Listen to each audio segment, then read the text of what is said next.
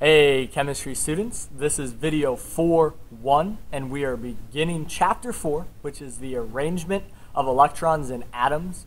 And we're going to look at how electrons behave and how we can visually tell what electrons are doing just based on what we see.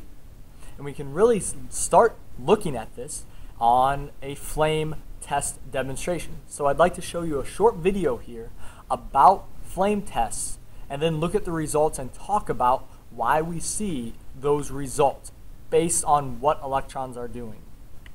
So here's a short video about the flame tests and how we can tell what electrons are doing based on the colors we observe.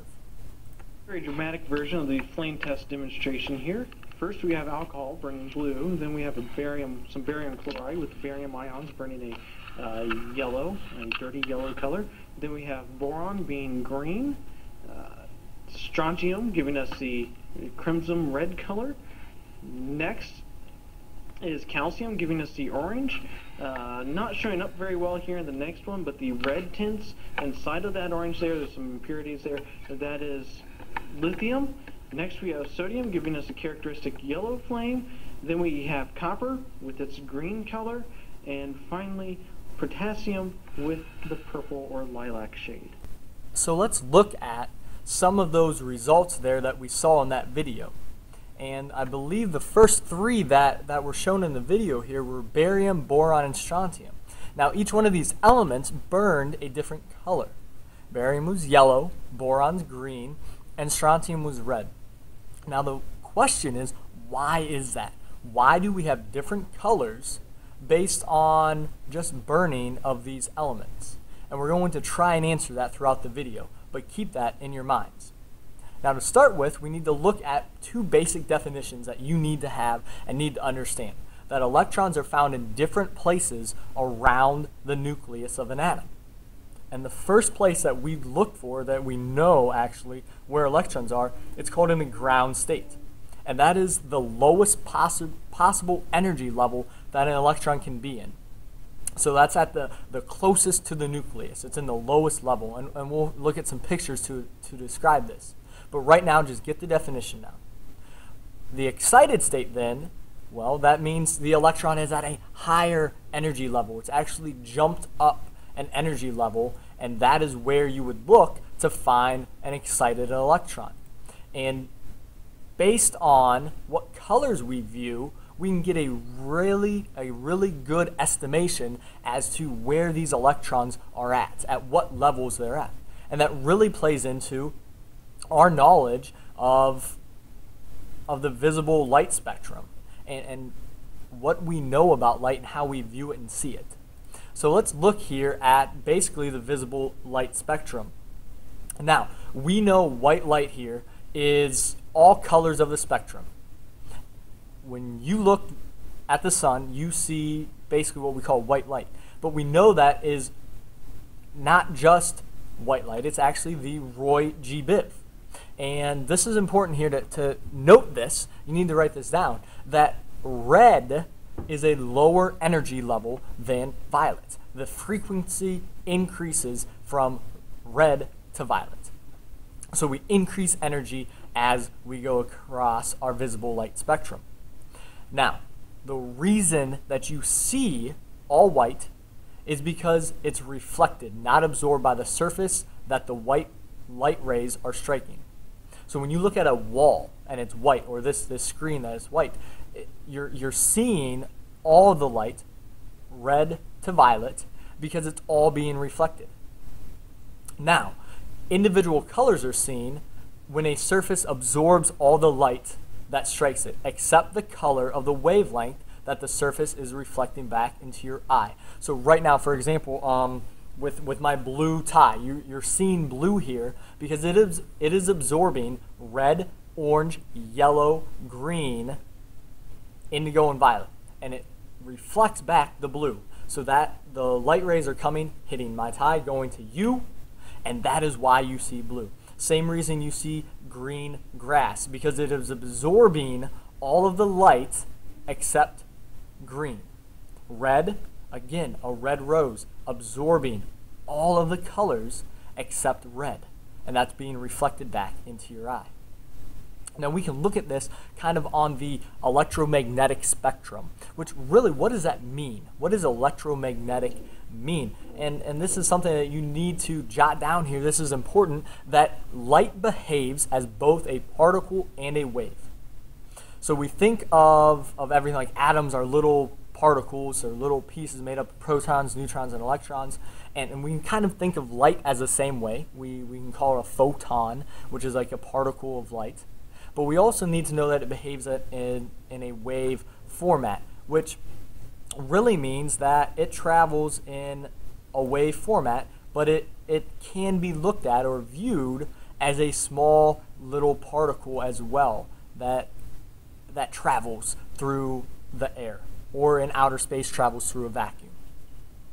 And here we have our visible spectrum. So this is a little reversed in our Roy G. Biv, but it, it's still visible here. This is what we can see.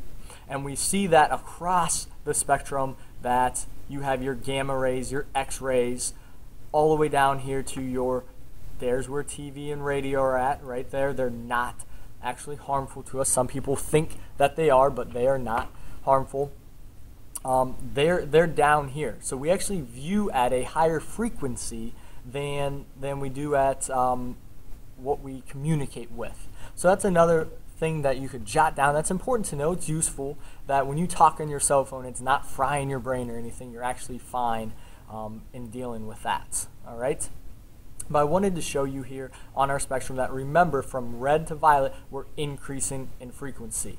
The, the crests of the wave, they're passing the point faster and faster, and it's an increase in frequency. Well, let's look here at, and we'll kind of scroll up here so it's not too much at once. Let's look at here who kind of came up with this idea of the electromagnetic spectrum that waves and particles are both made up of lights and, and where did this all come from? And still why do we see certain colors? Why when we burn boron um, do, do we get a specific color from that? And really we can talk about here uh, Bohr. We've talked about Bohr and his planetary model of the atom before, but I want to look at really how it's changed over time. And Bohr said that electrons only circle the nucleus in orbits, which we now know is incorrect. That's not true. They do not stay in just one specific orbit. Um, there's actually a, a, cloud about where they're at, and, and we'll look at that a little later, but that is incorrect. You need to note that, that that is incorrect. We actually know more of the quantum model, which is the electrons are in energy clouds, basically, that you can find an electron in a cloud around the nucleus. And you should have, in the previous chapters, learned a little bit or at least reviewed the quantum model of the atom and be familiar with that. But make sure you note that. Write it down, pause the video, and write that down if you don't know. Other things that, that Bohr said, and then we're going to kind of look at a, a diagram that explains this. Bohr said that electrons, we have absorption and emission of photons causes electrons to move from the ground state to ex the excited state. Now remember here, we have already noted here what the ground state means and what the excited state means. We already know that. Here you need to get the definitions of absorption and emission of photons. They're caused by some type of light entering an atom. For electrons to reach the excited state, they must absorb a minimum amount of energy. This is something that you should note, write down, and we're going to talk about it in the diagram on the next page. But be familiar here that in order to get an electron excited, it has to absorb a minimum amount of energy. And then the further an electron is from the nucleus, the more energy it has. Again, we talked about the ground state, which is your low energy, and the excited state, which is high energy. Okay? High energy. So that's where D comes into play there. Low energy and high energy. Let's look here at this diagram. What is it talking about? Well, we have here these five that we just talked about, these one and then these four parts here of how Bohr changed um, the model of the atom. And I want to apply that here to the Bohr model of the atom when we have absorption and emission. So in absorption, we have an electron that is entering the atom. And we have an, uh, I'm sorry, a photon, excuse me, a photon that is entering the atom, and it is going to hit that electron right there. And it's going to bump that electron up into its excited state. So this is the ground state of the electron right here, nearest the nucleus of the atom. The electron then gets excited by a photon because a photon has energy. It excites the electron, jumps up to a higher energy state, right? Now, that electron does not stay there. It does not stay jumped up in this higher, higher energy state because the energy, it, it, it needs to still escape. That's not where the electron's supposed to be. So it falls back down to its ground state. And as it falls, energy of the photon is emitted or released. So the, the basic idea here is that an electron comes in, so a little electron comes in, it bounces up, right? This is a, a photon actually. I keep saying electron, I apologize here. A photon comes in to an atom, it bumps up my electron to a higher energy site. So now it's excited. Well, that electron that's now up here doesn't like to be there. That's not where it's from. It wants to go back down to its ground state. And when that happens, energy is given off, right here, energy of the photon is given off and it's released. And this is where you have that emission occurring. So we can look at another example that kind of explains this as well if you're still struggling here with the idea that um, think of it this way. The electron, again, it, it starts here. The a light ray is going to come in, strike the electron, and it's going to jump up to a higher energy state. Again, that electron does not want to stay in the excited state. It wants to go back down to the ground state. And when that happens, when it goes back down to the ground state, right there, this is where we have some sort of emission, right? We have emission here. And it does not want to stay in the excited state, so it goes back down, and that light that came in is emitted out, and we can actually calculate that frequency that it's emitted at. And that's the idea here of, of electrons and, and seeing them.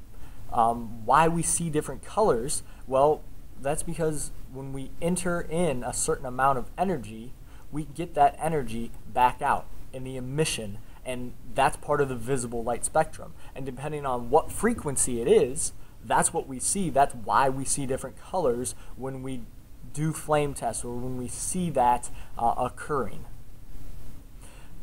So that's the first part here of the atoms and looking at really the the idea here that electrons can can move energy levels and allow us to see certain colors that we see.